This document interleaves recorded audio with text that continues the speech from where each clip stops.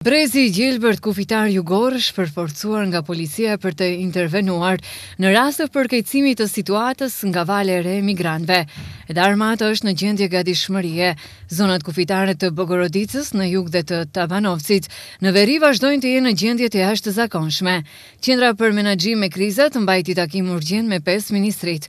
Para Komitetit për Menaxhim, që udhëhiqet nga ministrja e Mbrojtjes Radmila Sheqerinska, u raportua për valën e re të emigrantëve që pritet të kalojnë nëpër Maqedoninë e Veriut.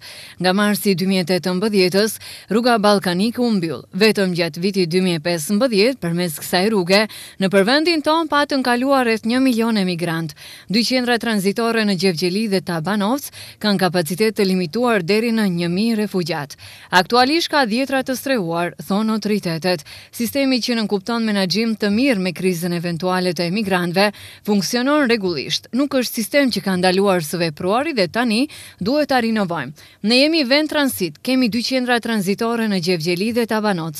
Nëse vjen deri te rihapje e rrutës, përkatësisht rritjen e numrit të refugjatëve përmes Maqedonisë së Veriut, mund vetëm të kalojnë apo qëndrojnë përkohësisht për shtatëdhjetë e dy orë, pohoi Oliver Spasovski, kryeministër teknik i Republikës së Maqedonisë së Veriut. Sipas Ministrisë për Punë të Brendshme, momentalisht gjendja në kufirin e jugut është stabile. Raportohet për numër të vogël të ndalesave të kalimit ilegal të kufirit. Në mëngjesin e së dielës, policia e Shtipit kapi shtatëdhjetë e tetë emigrantë ilegalë, të cilët po transportoheshin me kamion drejt veriut. Këto raste, sipas policisë, nuk janë të lidhura me zhvillimet e fundit nga kufiri turko-grek. Ndërkaq, njëqind e pesëdhjetë policë ndërkombëtarë të Frontex-it janë në asistencë të policisë së shtetit dhe armatës në dy pikat kufitare.